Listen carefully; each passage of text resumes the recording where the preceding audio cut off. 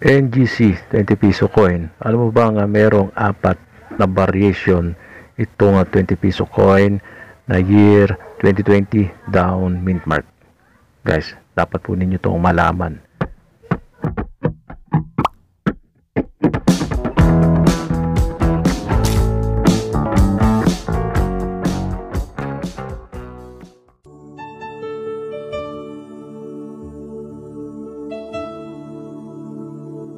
Okay guys, bago lang natin talakayin itong uh, 20 pesos na barya, no?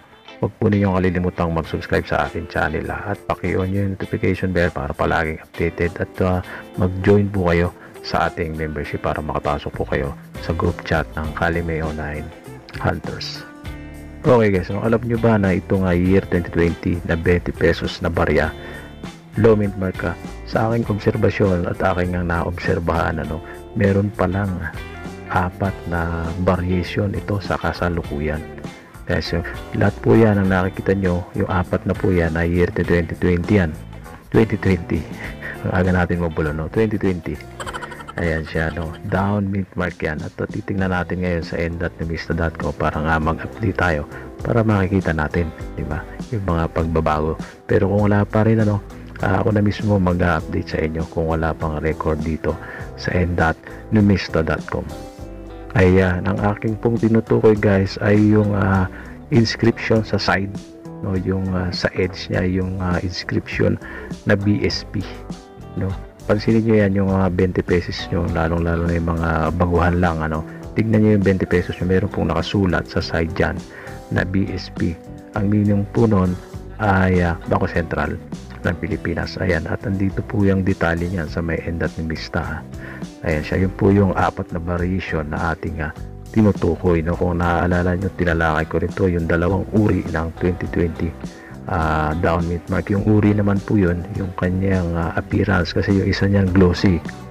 Yung isa naman ay uh, parang frost siya, parang mint luster siya. Ayan, ito naman ang uh, tatalakayin natin dito yung yung uh, inscription sa side yung tinatawag na edge no? Ayan. So 2019 uh, ah, hindi po tayo muna no? Huwag nyo lang pansinin yung uh, 2019 na mag focus po tayo dito sa year 2020 para hindi po kayo malilito no? So 2020 lang ah. Uh, 34% ito. Uh, medyo common lang naman no Ayan, at sa uncirculated, meron ng value dito sa end at vista.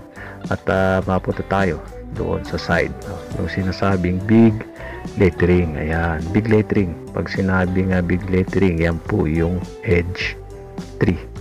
Doon po sa mga merong hawak kapag malaking malaki, malaking malaki yung BSP na nakasulat sa side yan, ayan po ay ang tinatawag na edge 3. Ayan, walang record ah walang record yung tatlo sa aking hinahawakan ngayon guys. Yung isa doon ito pong edge 3 at uh, ipakikita ko po yan sa inyo. So dapat uh, malaman nyo to kasi yung iba hindi masyadong napapansin yung mga inscription na yan ano, nagbabase sa mga date lamang. Kaya dapat din kasi nating ma-explore itong mga 20 pesos na to eh. Ito kasi yung isa sa pinakabagong barya uh, na nagiging uh, popular ngayon sa mga vloggers sa mga collectors kahit mga hindi collectors ay nakaka-interest dito kasi magandang i-collect itong uh, ah, 20 pesos na bariyang ito no? Year 2019 at 2020 so dalawang years lamang yan. At kung maaalala nyo guys ano uh, merong paalala dito yung BSP sa mga bariyang ito no? Sabi nila wala silang ginawang uh, brilliant uncirculated. So hanggang uh, uncirculated lang pero brilliant wala ano Ayan, so at least na-review natin. Ito, iisa-isayin natin itong uh, uh, yung kanyang uh, mga edges. Apat yan, ano, kung makikita nyo. So, unahin natin itong nasa left yung pinatawag na edge 3, yung big lettering na merong record sa end.mista.com. Tignan nyo lang guys, ano. So, madali lang naman ma-identify yung big lettering na yan, eh, yung edge 3 na yan, eh. BSP na sobrang laki, eh ang tawag ko nga dyan ay extra large no? Pero yun nga sa record ay uh, large lang siya. Ayan yan. Tapos yung uh, sumunod sa kanya yung uh, medium. Medium na yan syempre di ba? Ayan. Tingnan niyo po yung itsura niya no? I-familiar nyo lang guys no? Kasi uh, ah, kung ipaliliwanag natin ng ah, details by details yan na mahirapan tayo dyan. So dapat nyo na lang makita yung mismong itsura nila. Ayan no? Yung medium pansinin nyo no? Tapos yung ah, sumunod na small na yan na matatawag. Kasi 'di ba ah, large from large medium and small. Ah, tingnan nyo naman eh. Kitang kita naman guys na yung small na yan ay di hamak na mas maliit ng konti dito sa medium natin. Ayan kitang kita nyo naman no? 'di ba? Ah, halatang halata yung ah, kanilang pagkakaiba. Di po ba?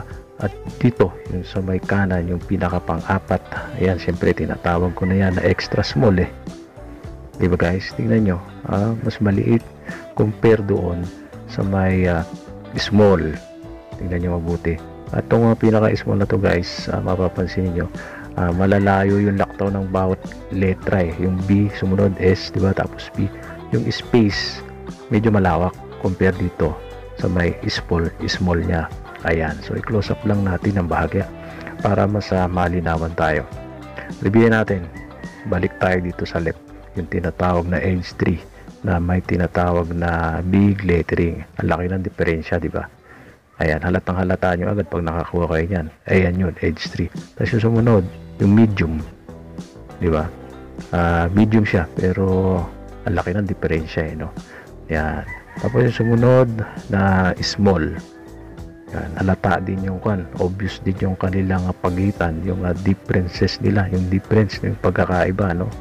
Ah, medyo manipis itong ah, bawat letra ng small natin eh.